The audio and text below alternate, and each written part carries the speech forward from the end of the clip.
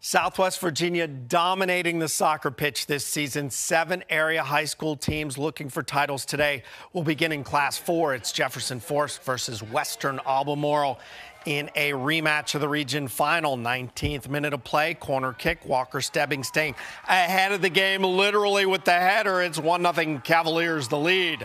Warriors going to tie it up in the 36th minute of this game. Jamie Williamson had a header as well. 1 1 game. It was a 2 2 game that had four overtimes before Western Albemarle won after six rounds of PKs for the state championship. Boys Class 2 state finals, Glenvar and Clark County from Salem High School. The Highlanders strike first. Colin Clapper, the corner. Maddox Fisher, the header. 1 0 Highlanders with the early statement goal. The Eagles of Clark County would respond. Christopher LeBlanc finds Callaway Beckett in the middle, and his shot right there was a howitzer that finds the net. This is a good old fashioned battle. Goes 3 2 to Clark County. Glenvar finishes with state silver.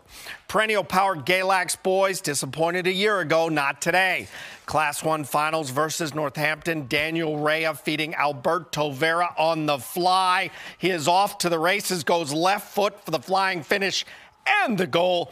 Galax wins the Class 1 state soccer title 2 to nothing your final. Plenty of reasons for that Maroon Tide bunch to celebrate. Coach says the expectations for the program raise the level of preparation. Because of that, there's this extreme pressure, but I think that pressure kind of molds our team and our players into better players, kind of like diamonds. We've got all that pressure, and it distills itself as we get towards the postseason, and here we are.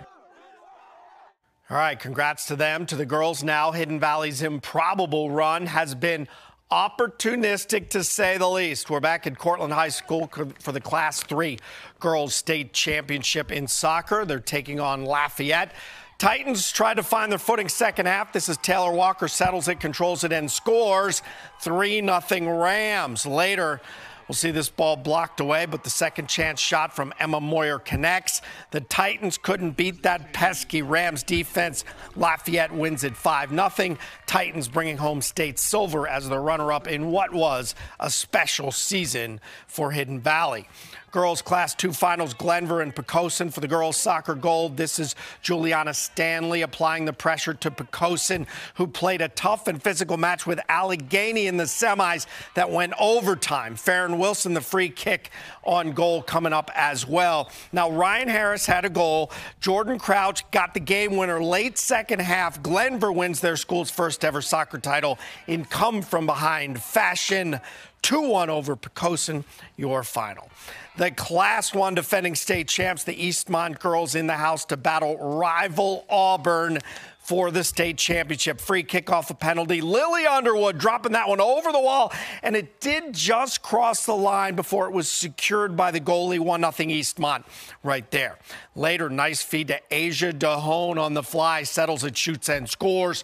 2 0 Mustangs in command. It was a 5 0 win as Eastmont goes back to back, something their coach says they've used as motivation. We knew we were going to be a target. We knew um, what it felt like to come back to a state tournament, and we wanted that same exact feeling. So um, they just had to work twice as hard, get it done, and, and they did. So we were we were proud of them. I'm proud of them. Indeed, and so are we. Back to the Jubilee and Diamond action. We're talking softball, Class 3 final. Lord Botetourt one final hurdle the New Kent Trojans. So let's get you back out. We are in Spotsylvania again. Trojans leading 2 0, looking for more in the third. But Ryan Jones back to back strikeouts to get out of a jam. She did that in the third and fourth. LB looking to produce a run. Hadley Evans still second. She's going to third, but she is caught there. They were trying to produce any kind of offense. Cavs bats quiet. Bottom of the sixth, runner on base, New Kent, Abby Kegley right there finds the gap, and McKenna Mueller rounds the bases and scores. Lord Botetourt could not generate any offense. Cavs fall 3 to nothing to New Kent and return home with state silver in Class 3 softball. Appomattox versus Page County in the Class 2 state title matchup. Page County won on a walk-off against Dan River yesterday. UVA commit Courtney Lane striking out the Panthers left and right, keeping them off base. Scoreless bottom of the seventh. Emily Purcell singling to center to get the Raiders on a bag. And then Kelsey Burkett with a huge hit to left field.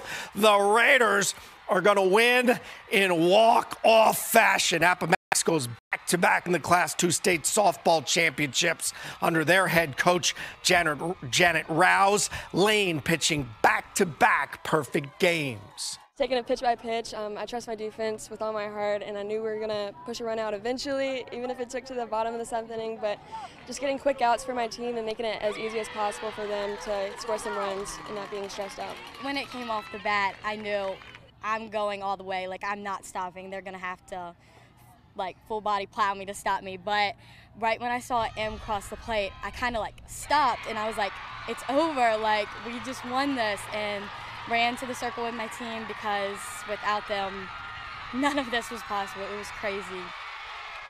All right, congrats to them and congrats to Auburn, the state Class 1 softball title in convincing fashion this afternoon. Uh, over to baseball now. Appomattox, no stranger to state titles. They're a perennial sports power, but they've never won in baseball until today. The Raiders pitcher Dylan Caruso throwing a complete game. Appo backs him up with four runs in the first two innings, and it holds up for a 4 2 win over John Battle. The Raiders finished 23 and 1 for their first baseball title.